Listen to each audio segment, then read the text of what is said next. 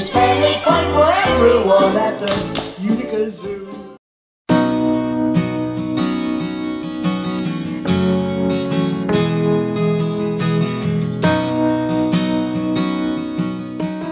Hello, this is Educator Kathleen, and for today's episode of Kazoo, we will be talking all about classification.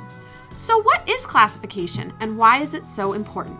Classification is the process of arranging and categorizing things into different groups by shared qualities and characteristics. Classifying animals helps biologists and scientists to better understand the relationship between organisms and makes it easier for them to study them. We have five different animal groups that live here at the Utica Zoo invertebrates, amphibians, reptiles, birds, and mammals. Invertebrates make up the largest part of our animal kingdom and include animals like jellyfish, lobsters, sponges, and insects like our Madagascar hissing cockroaches. Invertebrates do not have a backbone or internal skeleton, though our cockroaches here have something called an exoskeleton. An exoskeleton is a tough outer covering that provides support and protection. They are also cold blooded, meaning that they warm their bodies by absorbing heat from their surroundings. Amphibians are animals that spend part of their life on land and part of their life in the water. This includes animals like frogs, toads, and salamanders. Our milk frog, Chip, is a type of tree frog that lives in the tropical rainforests of South America.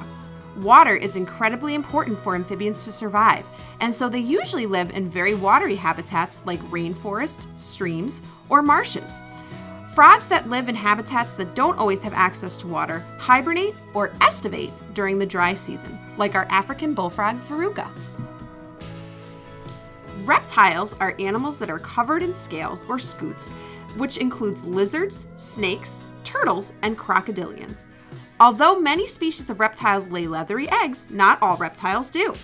They are also cold blooded, just like invertebrates and amphibians. You can find reptiles in almost every habitat in the world, except for polar ice and tundras.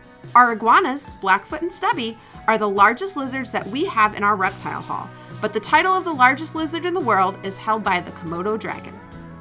Birds come in many shapes and sizes, but they are categorized as egg layers and having feathers.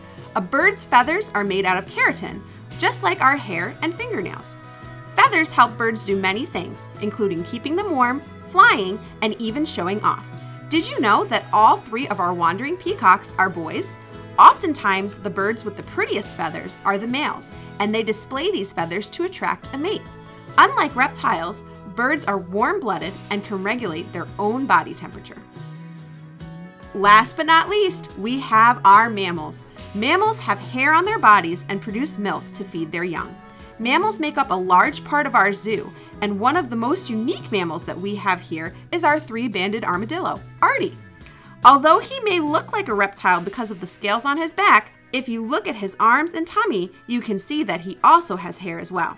Armadillos are actually the only mammals that are covered by a shell, and the three banded armadillo is the only species that can completely close itself within its shell.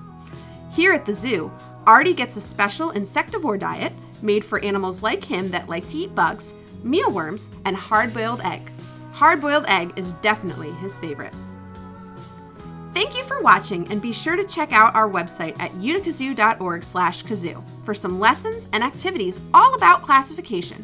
Also, if you've got a question about the animals featured in this video or any of our animals here at the zoo, you can email or mail them to us and they may be featured on an upcoming episode of Kazoo.